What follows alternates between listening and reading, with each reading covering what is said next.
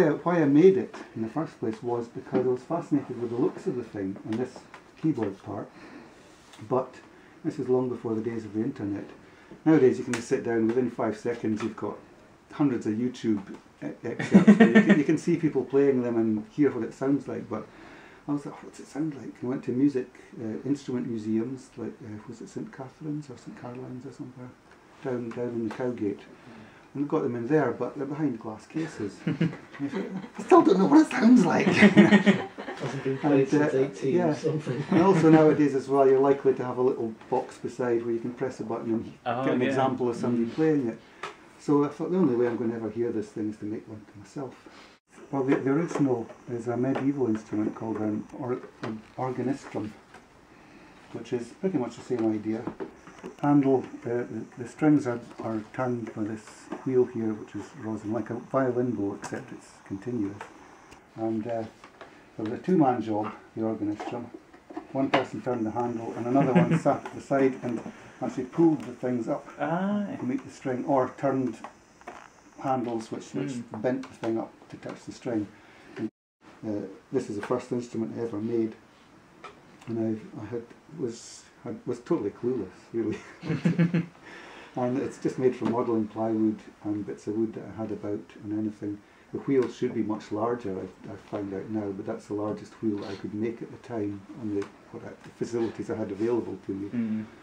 And um, How'd you get the um, the edges of the body? This uh, that was that was the worst part really because you can see that the grain is going up and down that way. So again, it's Mhm. plywood, and it, it, that's that was the, the, the, tightest curve I could get Oh, on, right. on the plywood, and with the grain going that way.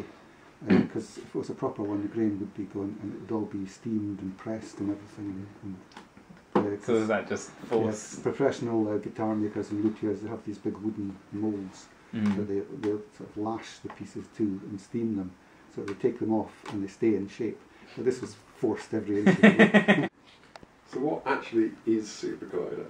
SuperCollider is a computer music environment, so it's got a, a sound server which lets you make pretty much you know any sort of sound. You can sample sounds, you can you know build a sound from primitives, um, you can use some pre-made uh, complex sounds and things.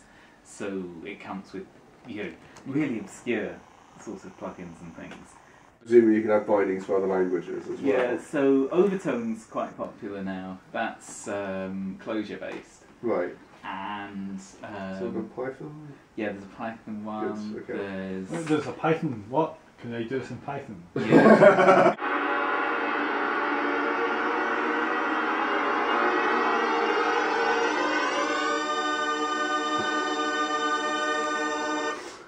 Okay, and that's come from like 20 lines of code. so yeah, the basic idea was was kind of awesome actually. somebody has done somebody the, the guy who made the original THX sound um, documented what it was, and so somebody you know took that and wrote it as code.